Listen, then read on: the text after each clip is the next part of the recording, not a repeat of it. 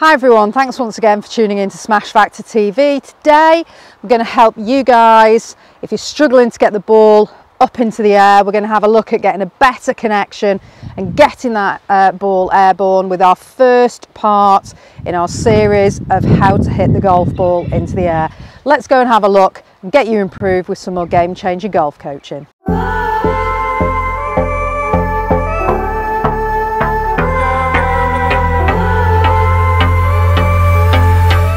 Hi everyone, thanks once again for tuning in to Smash Factor TV. My name's Natalie Adams. So back in the studio today and we're going to have a look at how to help you get the uh, golf ball into the air.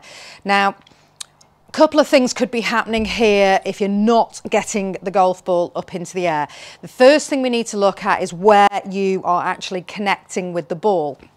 And if once you've taken your uh, address position here, if you're connecting with the top of the ball here, we've got to identify why. So the first thing I want you to check for here is that as you're swinging the club back, you're working on rotating your core and your stomach around to the right while you're keeping your left arm straight.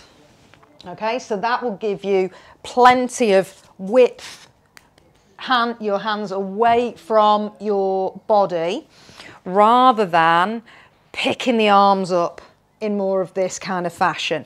So if I just show you from head on here, we want to work on that as you swing back, you're going to rotate your core and your stomach to the right, but you're going to keep your left arm straight as you do that, okay? So we're making more of this movement here rather than just picking the arms up and not rotating the core as well.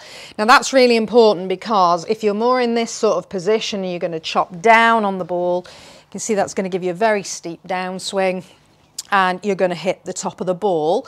Whereas from turning the core and keeping the left arm straight and the, the hand away from you, that's going to mean that you come in at a more gradual angle here so that you can connect more into the side of the ball.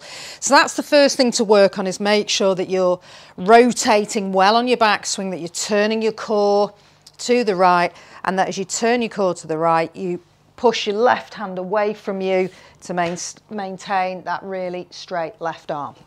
Okay, next thing we want to check for is with posture that you've got into a good setup position with your posture.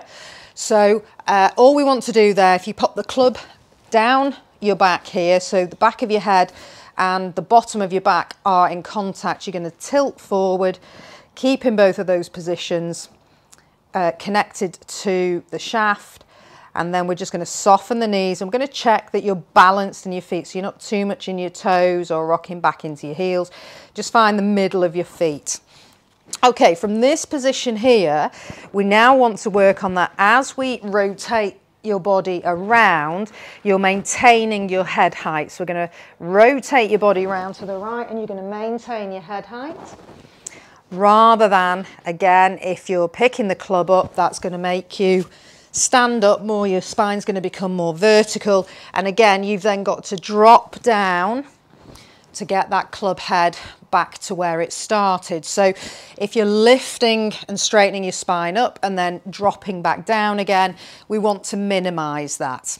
Okay, good way to um, practice that would be if you took your posture uh, and if you just stood next to a wall and if you took your posture up so that your forehead is just touching uh, the wall and then just practice turning your stomach to the right and you should keep your forehead in contact with that wall and then turn your stomach to the left and again keep your head in your forehead in contact with the wall.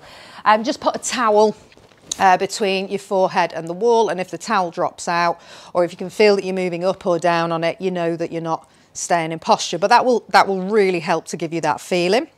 Okay, final thing we want to look for is that when you're swinging back through so if you've maintained your posture here, but if you push your hips towards the target too much, on your down on your downswing here. So if my pelvis moves towards the ball, it's going to pull my head backwards because otherwise I'd fall forwards.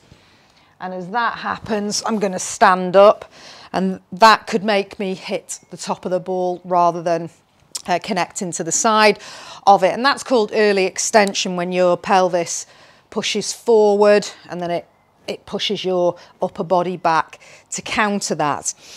And what we want to work on there is you maybe in too much into your toes when you're uh, swinging the club down. So when you get to here, you could be too much into your toes at the top of the swing.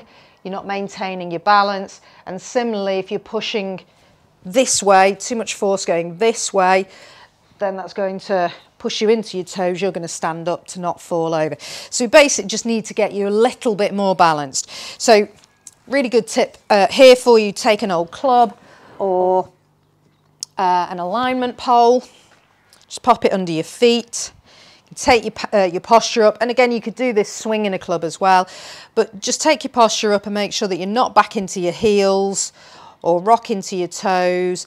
And then, so just rocking forwards and backwards and then find that midpoint for where you can maintain your balance and then work on taking some swings, maintaining your balance as you go through so that you're not swinging back and then pushing into your toes that'd make you fall over. So to counterbalance, pushing into your toes, and then you'll pull up this way. And again, it's not going to be easy um, to connect with the golf ball doing that. I'll put another link on if you do uh, in the video here.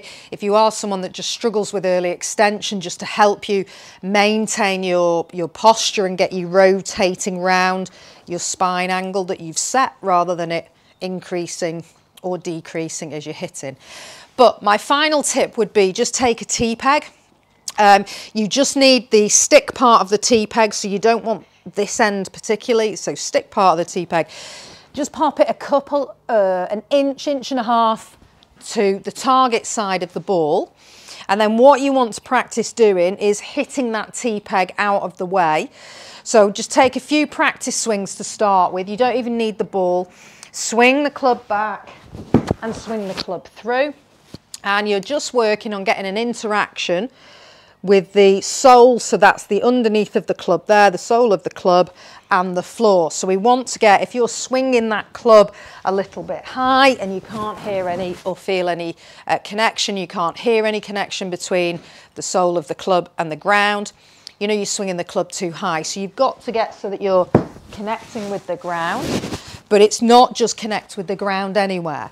We want to try to get that golf club so that it's moving downwards as you're striking through the ball. So we'd want to try to get that low point of the club head just to the left of the ball if you're a right-handed golfer. And then this angle here will help the ball go into the air. So you don't have to. This is going to help the ball go up into the air as long as you present the underneath of the club to the floor where the ball is. So make a few practice swings, practice hitting the T-peg away. So we'll just do that here. So uh, the club's set about two inches before that T-peg. We're going to swing back, hit that T-peg out of the way. Just do that a few times, get yourself confident with that and then start to introduce the ball, but exactly the same drill focus on taking the, uh, the T-peg out. I would get rid of the top part of the T-peg when you've got the ball involved, just so you're using the very thin stick.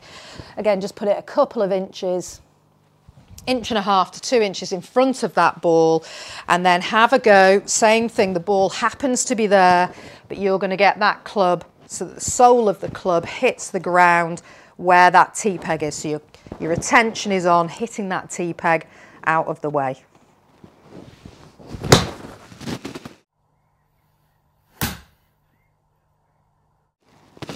And that gives me a really nice flighted shot because I've got the sole of the club coming down to connect with the ground just after the ball. So that angle, the loft, is forcing the ball upwards, up that angle, and then the ball's getting airborne.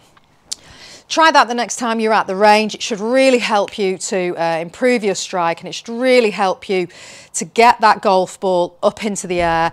But just go for those uh, tips and really work on head position as well. Because as I said, if you're swinging back and you're straightening your spine and then having to drop again, it's going to make it very, very difficult for you to get uh, a good connection on the ball consistently. But those tips will help you the next time that you're at the range and you're out on the golf course. It's some more game-changing golf coaching tips.